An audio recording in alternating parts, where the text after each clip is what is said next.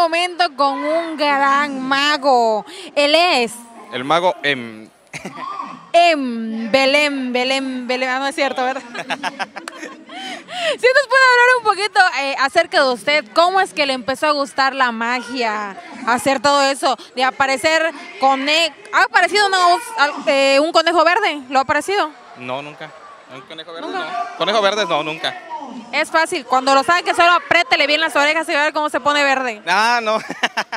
No, no es cierto. Háblanos un poquito acerca de usted como mago. ¿Cómo es que inicia en ese mundo de la magia? ok, bueno, pues mira, esto tiene más o menos aproximadamente unos 10, 12 años de lo que este, que ya como mago profesional, ¿no? Pero lo que es la magia, o sea, desde que estoy muy pequeñito, eh, que será 7 años, ahí es donde empezó ya el gusto por la magia, ¿no? Ahí en la, en los super vendían este, unos, eh, unos yogurcitos donde vendían unos juegos de magia y pues desde ahí ya este como que ese fue el plus, ¿no? Para que digas, ah, ¿no sabes qué? Pues este, soy mago y ya.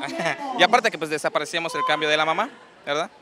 Pues sí, eso sí es cierto. A ver si eres mago, quítame unos 5 kilitos de encima. No, todavía no hago milagros, todavía no hago milagros. no, no es cierto. Escobín, algo que le quieres preguntar. Acabas de decir que tienes 12 años de trayectoria. ¿Y cómo te sientes de ser mago? Y a pesar de que es Día del Payaso, también te consideramos mago, porque los payasos hacemos magia igual. No, sí, mira, pues este, primero que nada me siento muy afortunado, ¿no? O este, estar en este bonito arte, ¿no? De lo que es este, la magia. Eh, muchos a lo mejor no, no, este, no conocen lo que es este, eh, el mago, eh, ¿no? El mago en este, aparte de, ser magia, o sea, que es lo que me dedico al 100%. eh, tengo un personaje eh, de payaso que se llama Fideito, pero es un payaso mago. Es un payaso mago que en realidad, o sea, este, solamente para eventos muy especiales o cuando la gente nos pide, ¿sabes qué? Quiero el, el payaso Fideito, pero es un payaso que hace pura magia. Ah, órale. ¿Quieres mandar algún saludo que nos están viendo ahí desde Mérida?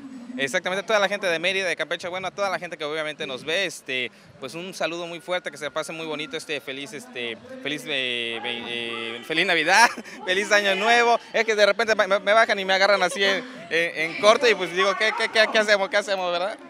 Ok, pues amigos, vamos a seguir disfrutando con el mago y todos los compañeros este día, del día del...